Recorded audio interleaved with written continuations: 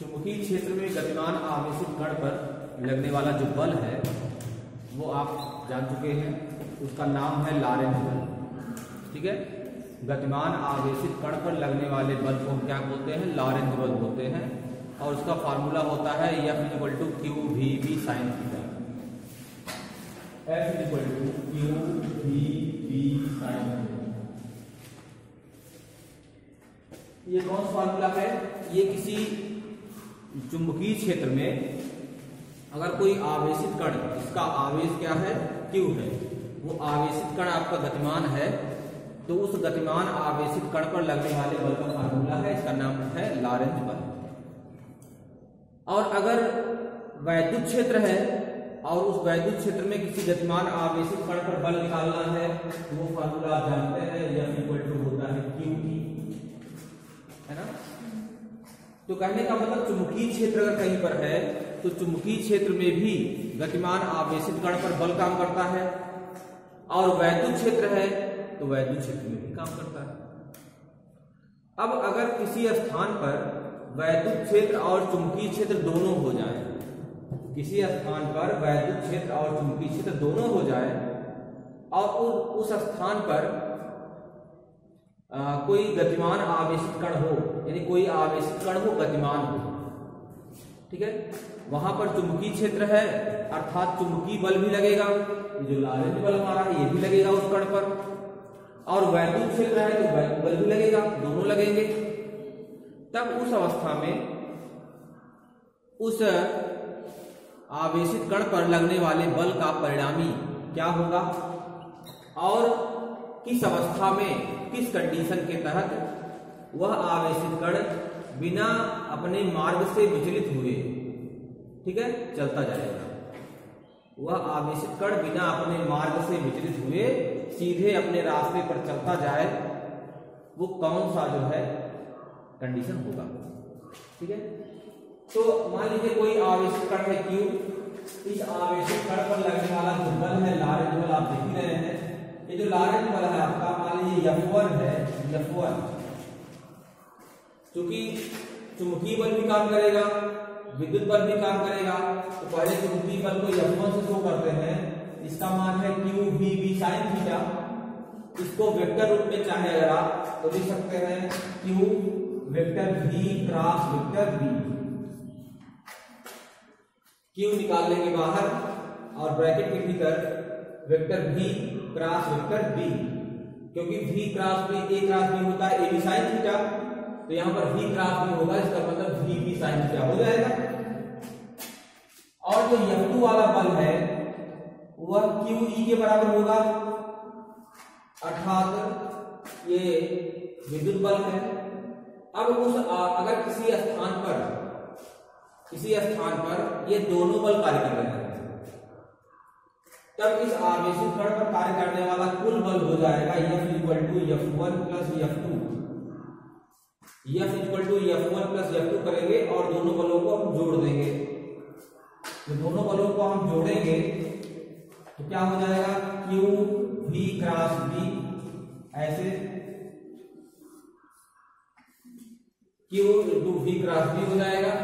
ये पहला वाला बल हो गया प्लस दूसरा बल हो जाएगा क्यू ई यही आपका टोटल फोर्स हो जाएगा या टोटल बल हो जाएगा।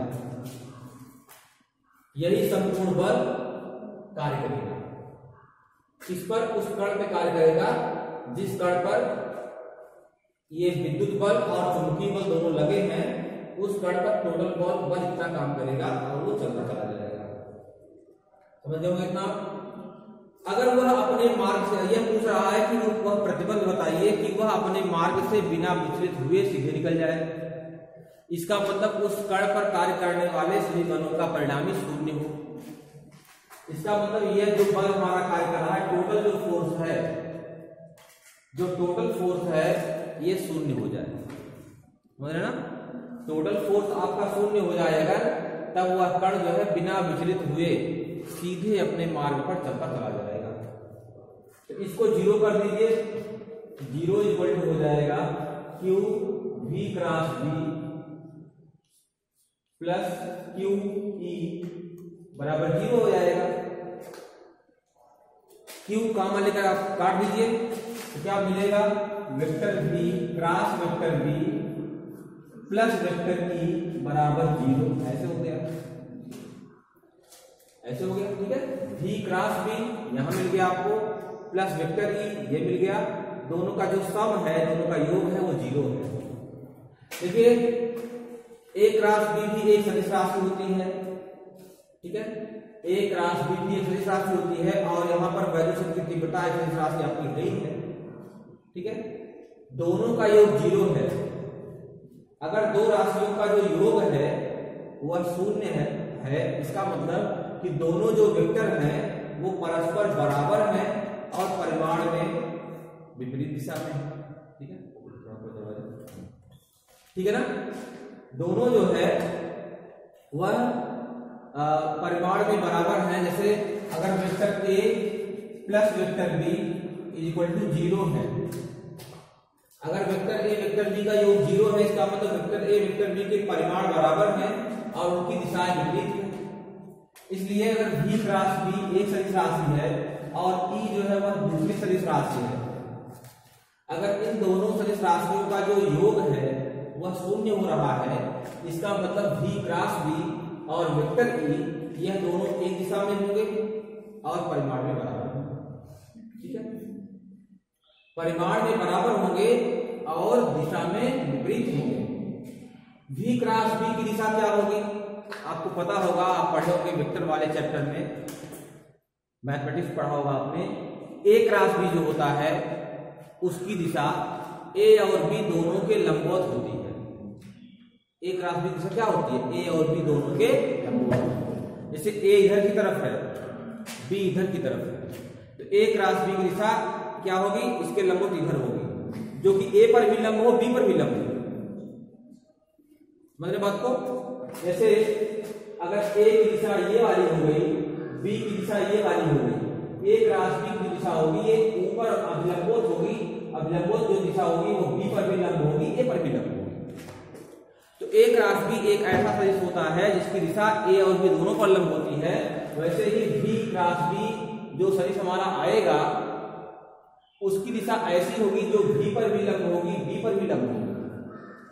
और अगर ये बी पर भी लंब है बी पर भी लंब है तो इसी के विपरीत दिशा में ये भी तो है इसका मतलब वेक्टर ई जो है, वह बी पर भी लंब होगा बी पर भी लंब होगा। अगर बी पर भी लंब है बी पर भी लंब है तो कह सकते हैं चुंबकीय क्षेत्र की दिशा जो होगी, वह वैद्युत क्षेत्र दिशा के लंबवत होगी। और वैद्युत क्षेत्र की दिशा होगी, वह चुंबकीय क्षेत्र की लंबवत होगी और जो वैद्युत क्षेत्र की दिशा है, वो इसके भी लंबवत होगी। क्योंकि ये दोनों पर लंब होगा ना।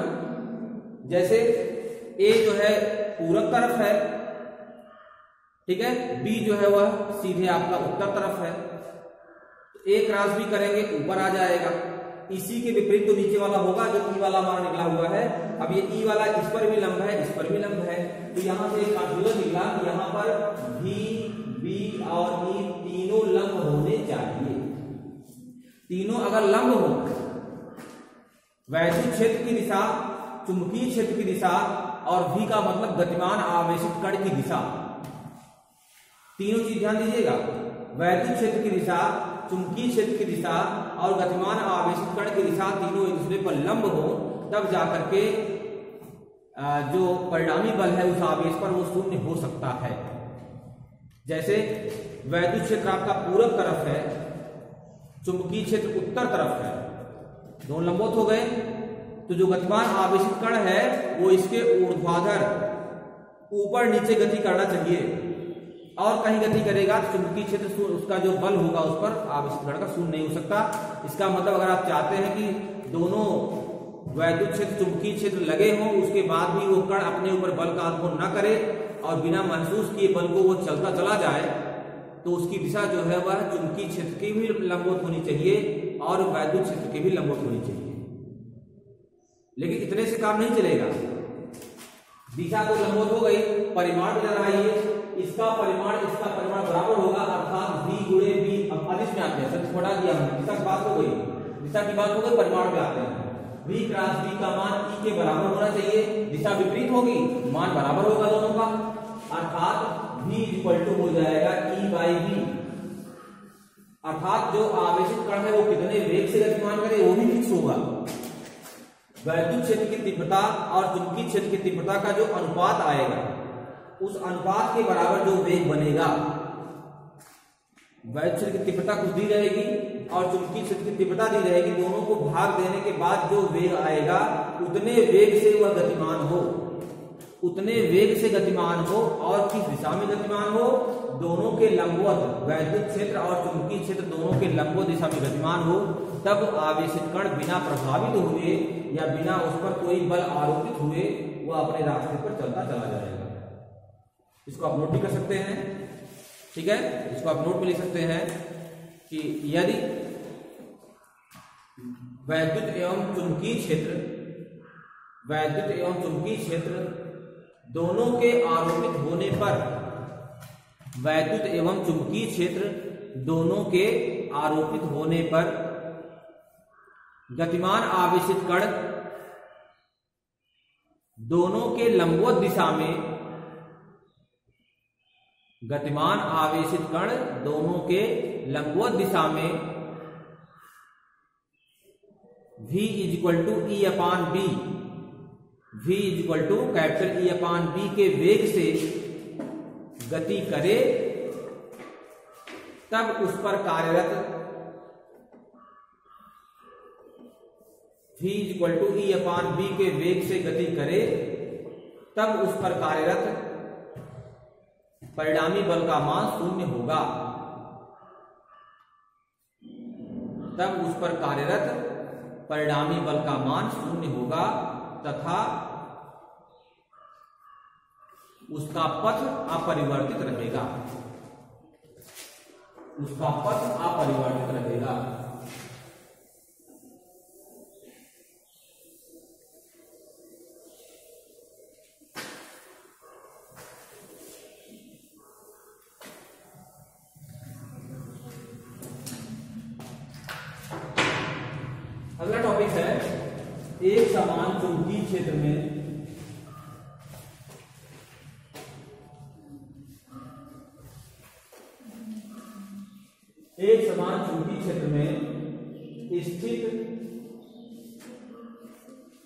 धारावाही चालक धारावाही चालक पर बल। एक समान चुंबकीय क्षेत्र में स्थित धारावाही चालक पर बल।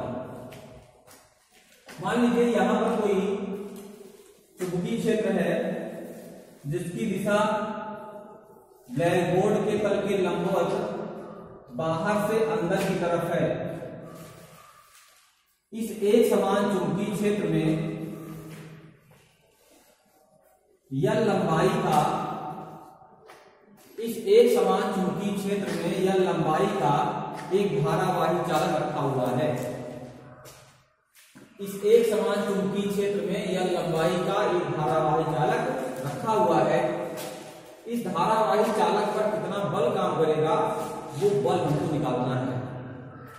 इस धारावाही चालक में प्रवाहित धारा का मान है आई और चुंबकीय क्षेत्र की तीव्रता है बी अर्थात जिस चुंबकीय क्षेत्र में यह धारावाही चालक रखा हुआ है, उस चुंबकीय क्षेत्र की तीव्रता क्या है? बी है।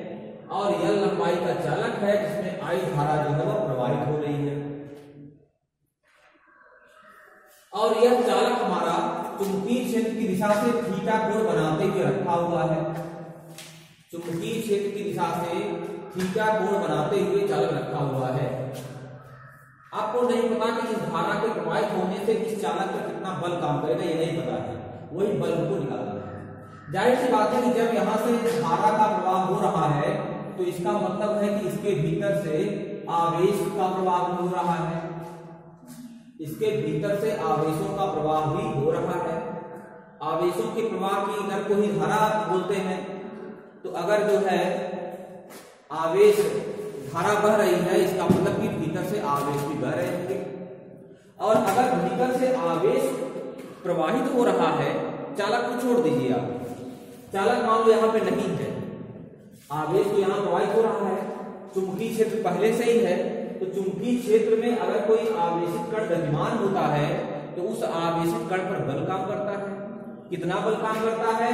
लारेंज बल के बराबर equal to Q V B इसको डैश बोल लेते हैं डैश क्योंकि ये गतिमान आवेशित कण पर बल निकलेगा और हमको धारावाहिक चालक पर निकालना है तो बाद में उसको F कर देंगे हम।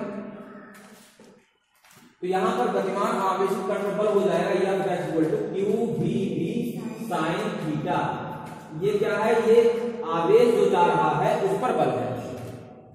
मान लीजिए उस आवेश की जगह पे एक इलेक्ट्रॉन जा रहा है केवल, एक इलेक्ट्रॉन। तो उस एक इलेक्ट्रॉन में आवेश कितना हो जाएगा? ई हो जाएगा। इलेक्ट्रॉन का जो वेग होगा, वो अपवाह वेग होगा, क्योंकि जब भी धारा बहेगी, ठीक है तो चालक के सिरों पर विभवांतर आरोपित होगा, तभी धारा बहेगी। विभवांतर के होने पर ही धारा बहेगी।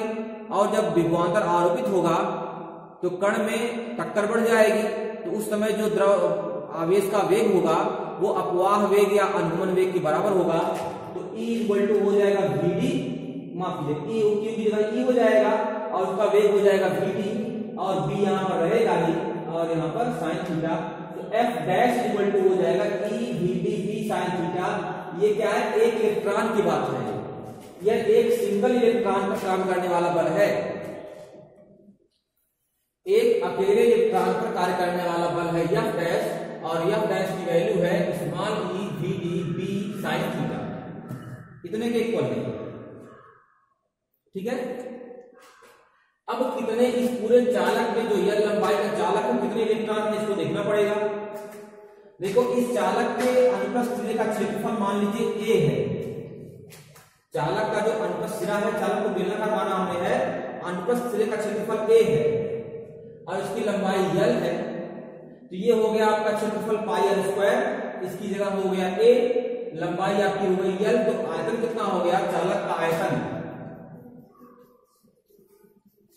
चालक का आयतन हो जाएगा ए गुणे यल ए गुणे यल चालक का आयतन हो गया। और इस पूरे आयतन में कितने मुक्त इलेक्ट्रॉन हैं? ये देखना पड़ेगा, क्योंकि जब इलेक्ट्रॉन पता हो जाएँगे कभी तो कुल बल निकलेगा। तो आयतन हो गया ए गुणे एल क्योंकि ए जो है वो तीसरे का क्षेत्रफल है यह इसकी लंबाई है। प्रति एकांक आयतन में मुक्त इलेक्ट्रॉनों की संख्या यन है। प्रति एकांक आयतन में मुक्त इलेक्ट्रॉनों की संख्या स्मॉल एन है। तो चालक में कुल इलेक्ट्रॉन कितने हो जाएँगे? चालक में कुल मुक्त इलेक्ट्रॉन। चालक में कुल मुक्त इलेक्ट्रॉन हो जाएँगे small n into capital A into L चालक में कुल मुक्त इलेक्ट्रॉन हो जाएँगे। Small n into capital A into L ये कुल मुक्त इलेक्ट्रॉनों की संख्या हो जाएगी। और एक इलेक्ट्रॉन पर बल काम कर रहा है इतना तो इतने इलेक्ट्रॉन है कितना बल काम करेगा तो कुल बल हो जाएगा। संपूर्ण बल जो चालक पर कार्य करेगा, क्या करेंगे? एक इलेक्ट्रॉन पर जो बल है E V D B sine theta इसी में हम गुणा कर देंगे। N into A into L संपूर्ण इलेक्ट्रॉनों की संख्या से। यह संपूर्ण इलेक्ट्रॉनों की संख्या है और ये E into V D into B into sine theta ये एक इलेक्ट्रॉन पर कार्य करने वाला बल है। तो संपूर्ण बल हमारा हो जाएगा एफ़ इक्वल टू अब यहाँ ध्यान दीजिएगा, अब आप पढ़ने हैं अपवाह वेग का फार्मूला विद्युत धारा में और अपवाह वेग में संबंध होता है। आई बराबर एन ई ए वी आपने पढ़ा है I equal to N E A V D इसका मतलब N E A V D जहाँ पर है उसकी जगह पे आई लिख सकते हैं। तो देखो यहाँ ध्यान दो N E A V D इन चारों जगह को लिखेंगे आई हो जाएगा आई क्या बचा? कैपिटल यल बचा, और क्या बचा? बी बचा। I L B sine theta यही चालक पर कार्य करने वाले बल का फॉर्मूला है। किसी धारावाही चालक जो कि किसी चुंबकीय क्षेत्र में रखा हुआ है, उस चुंबकीय क्षेत्र में स्थित धारावाही चालक पर कार्य करने वाले बल का फॉर्मूला होता है I L B sine theta यहाँ से चुंबकीय क्षेत्र की तीव्रता को परिभाषित भी किया जा सकता है। अगर थीटा का मान 90 कर दिया जाए, ध्यान दीजिएगा। अगर थीटा का मान 90 कर दिया जाए, अर्थात जो चालक हमारा है, वह चुंबकीय क्षेत्र की दिशा के लंबवत रख दिया जाए। जो चालक है, वह चुंबकीय क्षेत्र की दिशा के लंबवत रख दिया जाए। ठीक है? तो उस अवस्था में F इक्वल टू हो जाएगा आई एल बी तो B की वैल्यू क्या होगी? F अपान आई एल हो जाएगी। अर्थात चुंबकीय क्षेत्र की तीव्रता है, वह F बटे आई एल के इक्वल हो जाएगी। जहाँ I जो है, वो धारा है, अगर I का मान L का मान एक मीटर ले ले। अर्थात जो चालक हमारा है, इसकी लंबाई एक मीटर ले ली जाए और उसमें एक एम्पियर की धारा प्रवाहित कर दी जाए। एक एम्पियर की धारा प्रवाहित कर दी जाए और चालक की लंबाई को एक मीटर ले लिया जाए तो उस अवस्था में B इक्वल टू एफ़ हो जाएगा। अर्थात चालक पर जो बल काम करेगा, उसी को हम चुंबकीय क्षेत्र की तीव्रता कहेंगे। अर्थात एक मीटर लंबे और एक एम्पियर की धारा प्रवाहित जिसमें जिस चालक में वो अर्थात ऐसे इसको बोलेंगे हम कि चुंबकीय क्षेत्र की दिशा के लंबवत, पहले लंबवत कह देंगे, चुंबकीय क्षेत्र की दिशा के लंबवत रखे हुए एकांक लंबाई के धारावाही चालक, जिसमें एक एम्पियर की धारा प्रवाहित हो रही हो, ठीक है? उस चालक पर जो बल कार्य करता है उसे उस बिंदु पर चुंबकीय क्षेत्र की तीव्रता कहा जाता है। ठीक है? अर्थात किसी चुंबकीय क्षेत्र की दिशा के लंबोत रखे हुए एकांक लंबाई के धारावाही चालक, ठीक है? जिसमें एक एम्पियर की धारा प्रवाहित हो रही हो, पर जो बल कार्य करता है, उसे उस स्थान पर चुंबकीय क्षेत्र की तीव्रता कहते हैं। इसका मात्रक पूछा जाए तो आप देखते हैं न्यूटन जो है, वो बल का मात्रक है, एम्पियर धारा का मात्रक है लंबाई का मात्रक मीटर है तो न्यूटन प्रति एम्पियर मीटर। न्यूटन प्रति एम्पियर मीटर इसका मात्रक है। चुंबकीय क्षेत्र की तीव्रता का मात्रक न्यूटन प्रति एम्पियर मीटर होता है। इसी को टेस्ला भी कहते हैं। टेस्ला भी इसको बोलते हैं। एक न्यूटन प्रति एम्पियर मीटर को एक टेस्ला भी बोलते हैं। और गॉस भी इसका मात्रक होता है। गॉस, ठीक है? एक गॉस में दस घाते माइनस चार न्यूटन प्रति एम्पियर मीटर होते हैं। गॉस भी इसका मात्रक है और गॉस जो है, वह छोटा मात्रक है। दस घाते माइनस चार न्यूटन प्रति एम्पियर मीटर होता है। या दस घाते माइनस चार टेस्ला भी कर सकते हैं। तो यह किसी धारावाही चालक पर कार्य करने वाले बल का फार्मूला है। और इसकी दिशा ज्ञात करनी हो आप फ्लेमिंग के बाएँ हाथ के नियम से ज्ञात कर सकते हैं। फ्लेमिंग के बाएँ हाथ के नियम के अनुसार, यह किसी चालक को, ठीक है, किसी चुंबकीय क्षेत्र में रखा गया हो और उस चालक पर लगने वाले बल की दिशा को ज्ञात करना हो। तो हम क्या कर सकते हैं कि फ्लेमिंग के बाएँ हाथ के नियम के अनुसार उस बल की दिशा ज्ञात कर सकते हैं। ये जो तर्जनी अंगुली है इस तर्जनी अंगुली को हम चुंबकीय क्षेत्र की दिशा में रख देंगे। तर्जनी अंगुली को चुंबकीय क्षेत्र की दिशा में रख देंगे और ये जो मध्यमा अंगुली है, ये चालक में बहने वाली धारा की दिशा में रख दिया जाए। चालक में बहने वाली धारा की दिशा में रख दिया जाए तो अंगूठा जो है, वह चालक पर कार्य करने वाले बल की दिशा को बताता है। तो जिस तरह से हम गतिमान आवेशित कण पर लगने वाले बल की दिशा को ज्ञात करते थे, याद होगा इसके पहले गतिमान आवेशित कण पर लगने वाले बल की दिशा को हम ज्ञात करते थे उसी प्रकार। यहाँ पर जो है, आप किसी धारावाही चालक पर कार्य करने वाले बल की दिशा को भी ज्ञात कर सकते हैं और वो नियम कौन सा है? फ्लेमिंग के बाएँ हाथ का नियम है। चलिए। अब हम इसका जो अंतिम टॉपिक है चैप्टर का, वो पढ़ेंगे। इस चैप्टर का अंतिम टॉपिक है दो लंबे सीधे धारावाही चालकों के बीच धारा प्रवाह पर बल।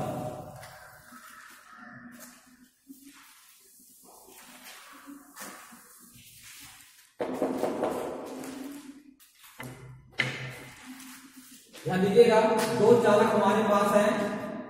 अच्छी समझिएगा, दोनों चालकों के बीच की डिस्टेंस है आर दो चालक हमारे पास वो दो तार हैं। दोनों तार जो है, वो परस्पर आर दूरी पर स्थित है। यहाँ देखिएगा, दोनों तार हमारे किसी दूरी पर है, आर दूरी पर है, और इनकी लंबाई, यह लंबाई ली गई है। ठीक है? लंबाई मान लीजिए इनकी यल ली गई है, और इनके बीच की दूरी क्या है? आर है। दोनों में धारा बह रही है, आई वन और आई टू। पहले में धारा आई वन, दूसरे में धारा आई ठीक है?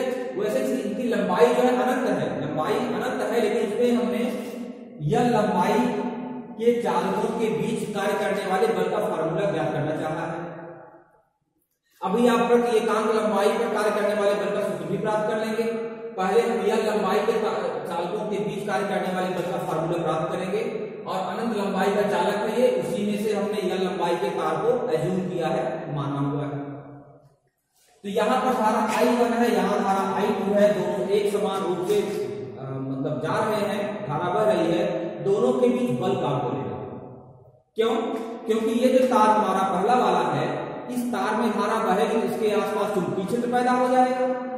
उस चुंबकीय क्षेत्र में ये तार हमारा बढ़ेगा ही ठीक है? और दूसरा जो हमारा तार है, इसमें धारा बह रही है आई टू ठीक है? इसमें भी धारा बहेगी, इसके चुंबकीय क्षेत्र में ये पड़ेगा। तो दोनों जो है एक दूसरे के चुंबकीय क्षेत्र में पड़ेंगे। तो दोनों पर बल काम करेगा। ठीक है? इस बल का परिमाण क्या होगा? ये जानना है और आ, इसके साथ एम्पियर की परिभाषा भी आपको जाननी है। ठीक है? ये थोड़ा सा लंबा हो जाएगा ये। वीडियो बड़ा हो जाएगा पूर्ण नहीं हो पाएगा।